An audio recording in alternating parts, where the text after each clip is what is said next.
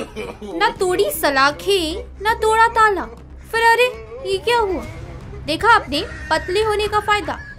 एक चोर को पतला होना उसके लिए कितना काम आया। अक्सर फ़िल्मों में दिखाते हैं कि पुलिस पहले काफ़ी मशक्कत के बाद चोर को पकड़ती है और फिर उसे जेल की सलाखों के पीछे डाल देती है। महाराष्ट्र के पिंपरी चिंचवड़ में कुछ ऐसा ही हुआ। लेकिन यहाँ के थाने में बने कारागार से चोर जिस तरह से भागा, वो चौंकाने वाला है। पुलिस भी उसकी हरकत से हैरान रह गई। दरअसल महाराष्ट्र के पुणे ज़िले की पिंपरी चिंचवड़ की चाकन पुलिस में एक ऐसी घटना घटी, जिससे पुलिस स्टेशन में मौजूद सभी पुलिस अधिकारी और पुलिस कर्मचारी हैरान रह गए।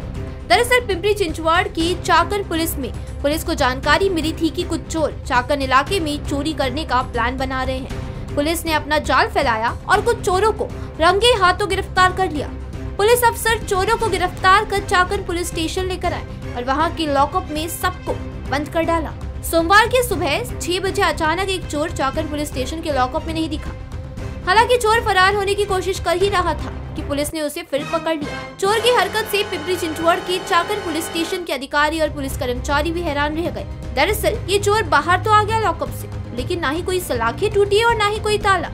लॉकअप तो बंद ही था, लॉकअप को तो खोला ही नहीं गया।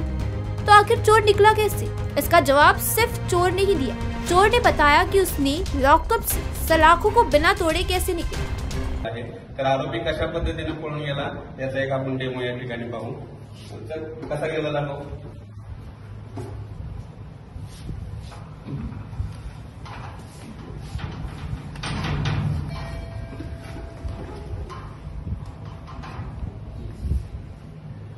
अशा आरोपी प्रयत्न दरअसल चोर का शरीर इतना पतला था कि वो वो लॉकअप में आसानी से आर पार जा सकता था और इसी का उसने फ़ायदा उठाया। चोर की बातों पर पहले चाकर पुलिस अधिकारियों को तो विश्वास नहीं हुआ। फिर चोर ने उन्हें ऐसा सामने करके दिखाया। जब चोर उनके सामने भी पहले जैसी सलाखों के बीच से निकल गया तो वो चौंक गए। अब आगे ऐसी घटना ना हो, इसके लिए अब पिंपरी चिंचवड़ के चाकर पुलिस स्टेशन के अधिकारी लॉकअप में जाली लगाने की तैयारी कर रहे हैं। मेट्रो मुंबई के लिए राहुल शुक्ला के साथ